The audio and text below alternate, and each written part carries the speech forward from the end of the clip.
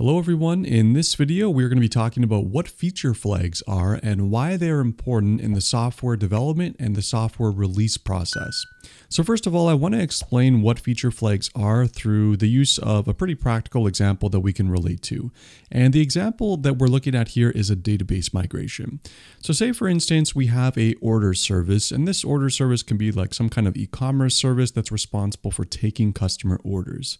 And we have a legacy database here that's connected to our order service that we use to perform create, read, and update and delete operations against. Now say we're in a situation where we want to migrate to this new database. So instead of traffic flowing from this direction here to this legacy database, instead we want it to flow over here to this new database. And behind the scenes, these two databases are kept in sync with one another. So data that's written to this database uh, is automatically propagated over here to this new database. So how do we change the direction of this arrow or change where the reads are being performed? We want them to be performed off of this new database over here so that we can deprecate this thing and get rid of it. So one way that you can do this is through the use of deployments. So say for example, you uh, are deploying a new version of your software here, and instead of reading off of this legacy database, your deployment code reads off some config, and now we're going in this direction, right? And now all your new APIs that are coming in over here are going to be reading off of this new database, and this thing is effectively not being used anymore.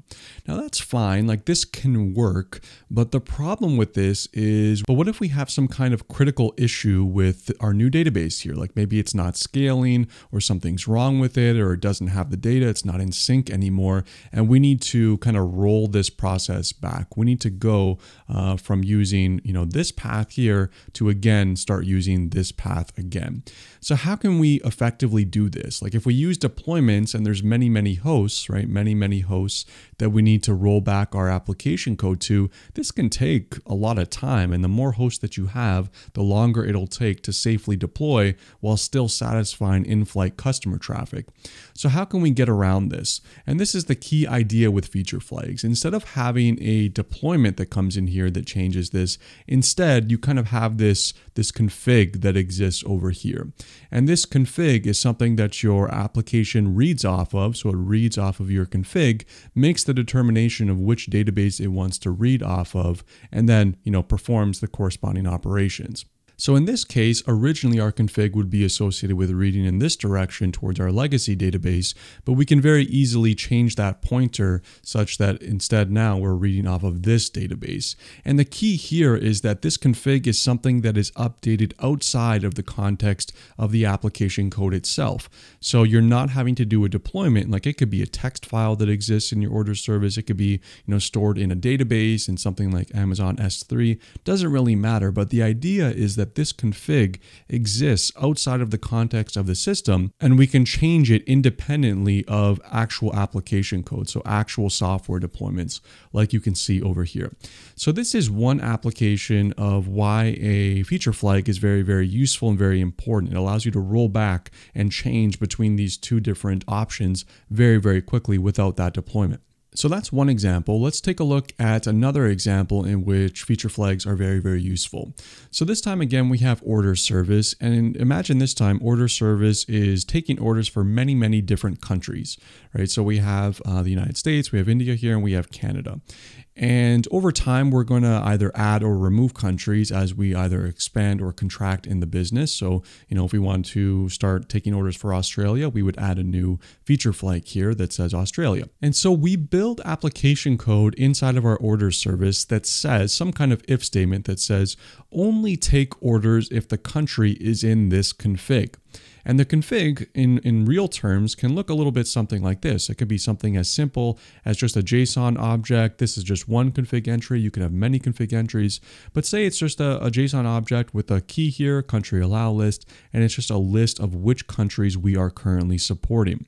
So say there's some kind of critical issue in Canada and we need to disable Canada. Maybe there's a problem with the, I don't know, the logistics network or some kind of problem with, um, you know, drivers. We're not able to get enough drivers to perform our deliveries. How can we quickly disable Canada here without having to do a brand new deployment? And again, this is where feature flags come in.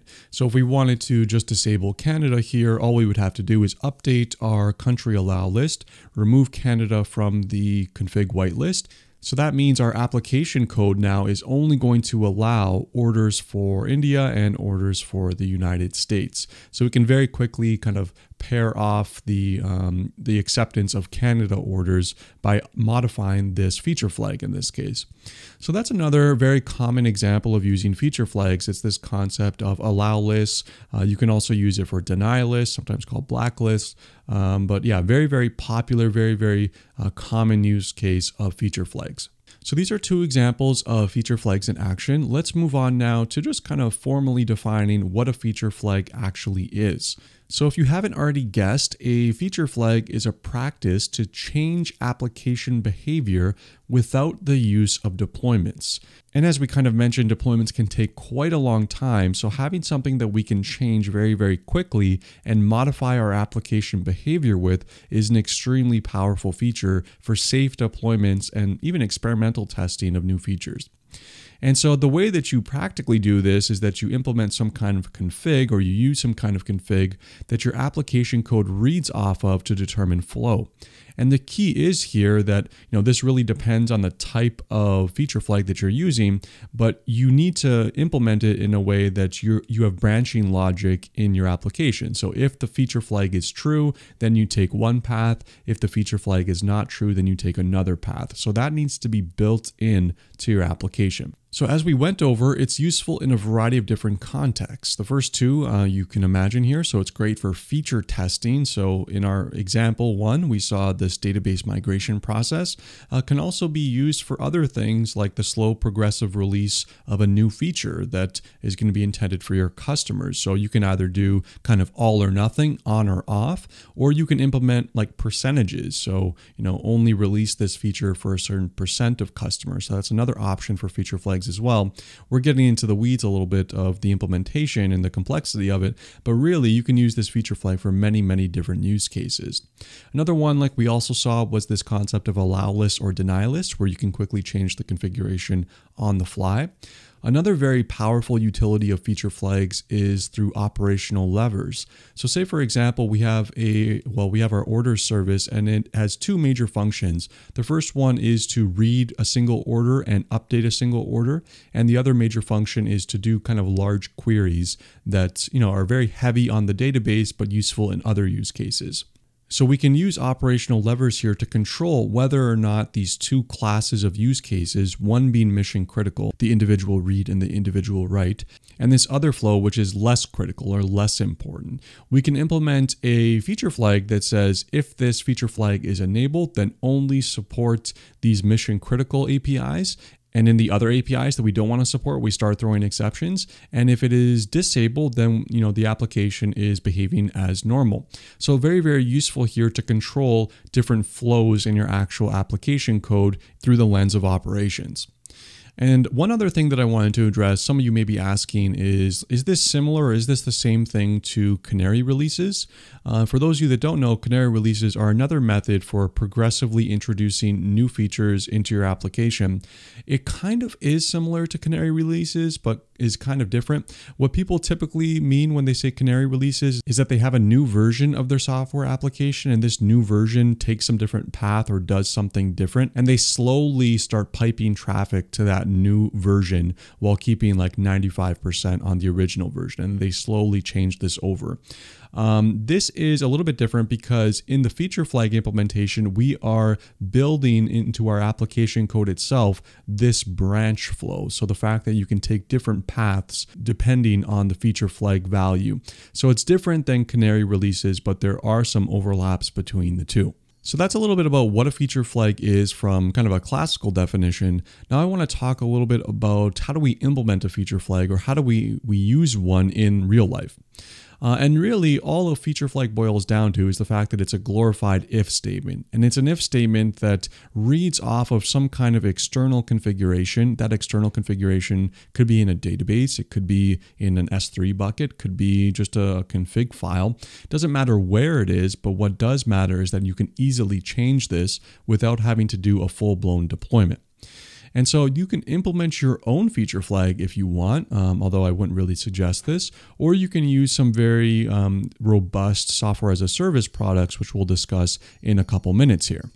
So if you do go down the path of implementing your own, then ideally the implementation should be low latency. So you're able to retrieve the configuration very, very quickly with minimal impact.